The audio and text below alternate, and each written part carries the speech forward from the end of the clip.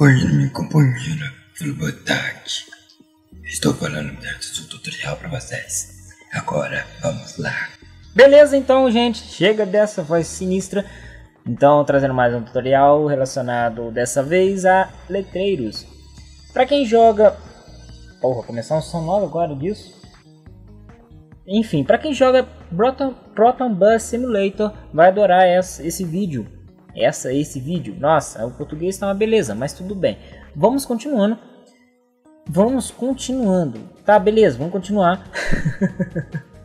Caraca, não vou cortar essa merda não. Enfim.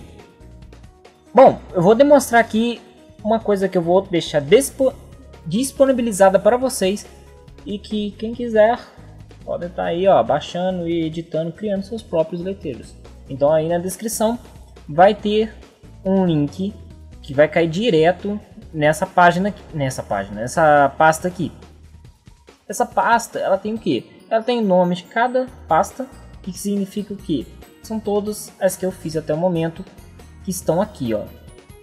E vai ter aqui crie seu letreiro. Então você vai ver a fonte que eu estou usando aqui, que você vai ter que instalar no seu computador ou sei lá onde você quiser usar, e a base do PSD, que é essa que eu vou demonstrar aqui vocês. Vou fazer um turno com vocês e também mostrar uma coisa que legalzinha que pode ajudar vocês aí numa situação de aplique.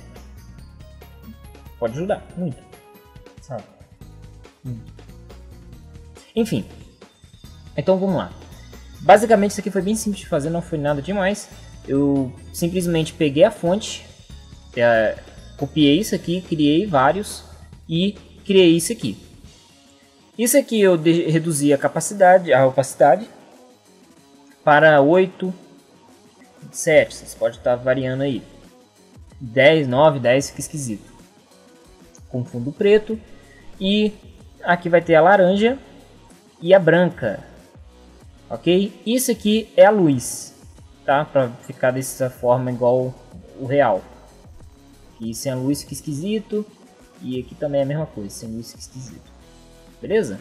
Então já está tudo configurado e é só vocês clicar no qual você quer, vir aqui e clicar na letra, selecionar tudo, escrever o que você quer. Vou colocar aqui, por exemplo, é, 666, porra, para o pessoal não falar, tá?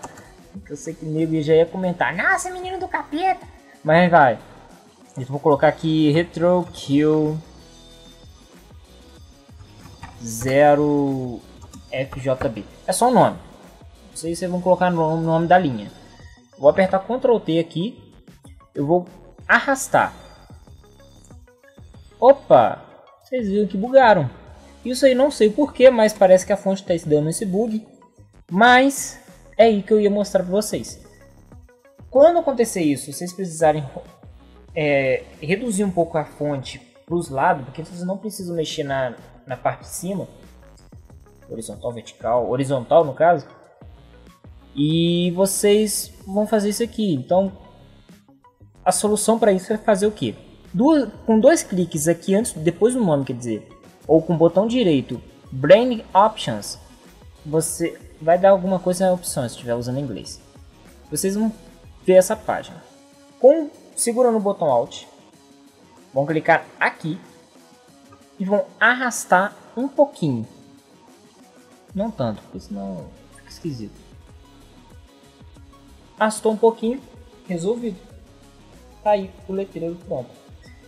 É só você salvar, é bem simples, em File, Save As e seleciona aqui PNG. Beleza? Aí coloca o nome que você quer tal e depois vocês vão selecionar lá no letreiro do jogo. Ok? Então, pessoal, é... vocês vão praticamente ter uma facilidade enorme para fazer isso aqui e essa fonte aqui ela traz um, uma proximidade muito grande do real. Então vocês podem estar tá fazendo a forma que vocês quiserem da sua cidade, do seu bairro, não sei aí, beleza?